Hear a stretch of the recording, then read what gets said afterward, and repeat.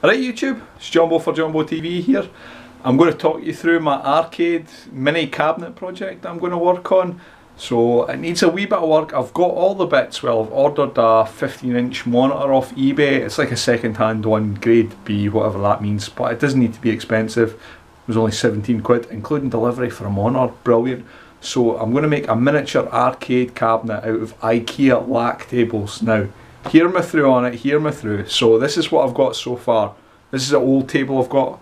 So I'm going to buy two new ones. They're only 16 quid each. So 16 quid plus the monitor at 17 quid. Plus I already have a full set of arcade buttons for it.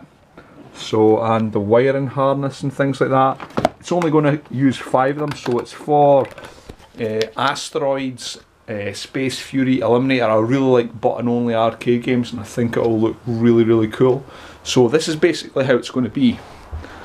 So, there is a Lack table on its side. Now, you need to imagine a second one on this side, and this is in the middle to create the kind of level of the arcade. Okay?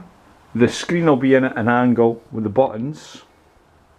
A smallish marquee along the top.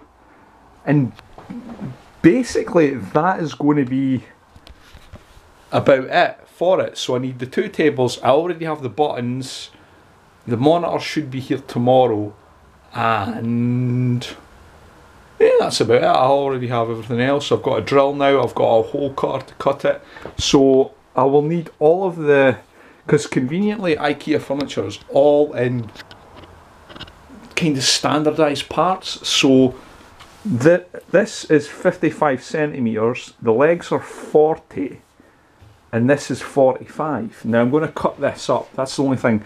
I'll need to buy a saw for it to cut it up. But a saw is fairly cheap. I'll just need to buy a, a fine tooth saw to to cut through it without damaging it. But it's got both sides are black on it as well. I'll need to buy some black spray paint as well for the inside of this. But it should look pretty damn cool. I mean, that this is me sitting with it, so hopefully give you a wee scale. So if I'm sitting on it playing it, that'll be my my angle. Obviously, you need to remember it'll be here with the screen and stuff. That'll be pretty cool. So I think I need.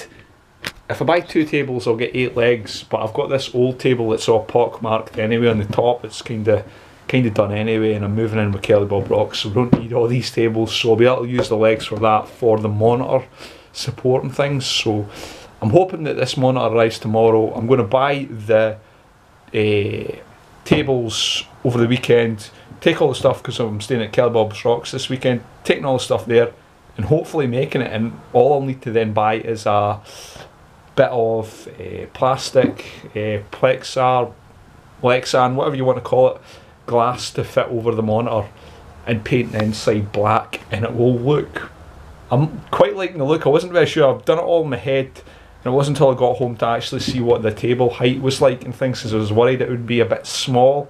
But I think it's going to look pretty cool. So hopefully that'll be it. You'll definitely see it getting vlogged, buying the tables, cutting it. Well, I mean, that's the beauty of it. It won't need that much cutting or drilling. It, it, it's literally going to be bolted together. I mean, this, this will need cut into sections and I'm going to use the other one for the top and some of the backboard to cover up and then I've got an old PC that can fit in it as well so it should be pretty cool. I hope you're going to look forward to it. I'm definitely looking forward to it. I've always wanted an arcade machine.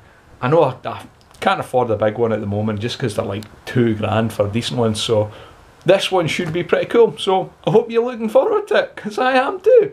See you later YouTube.